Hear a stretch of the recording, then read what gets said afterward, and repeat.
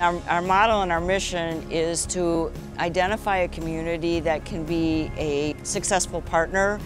so we work with them providing medical services, help them with uh, infrastructure to create a business and typically water access and purification that will then provide an income source so that the clinic will be self-sustainable. One of the first things we observed about illness in Peralta was that waterborne illness was, was really very prevalent. So it became clear that from a public health standpoint, this was going to be a huge target for us and that we were not going to be able to make significant inroads into other illnesses until this very basic problem uh, had been addressed. In the Dominican Republic,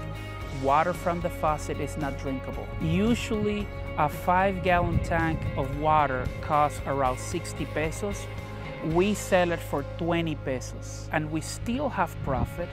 but that profit it goes back to the community investing in the community clinic we now have 20 distribution points and throughout the community at large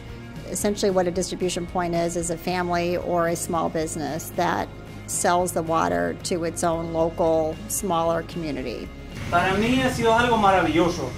y se lo he expresado una y otra vez a la comunidad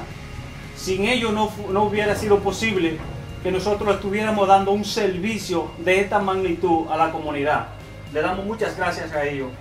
The benefit to this is that it obviously provides water to communities that don't have it, but it also provides additional profit that can now flow into the clinic. We want to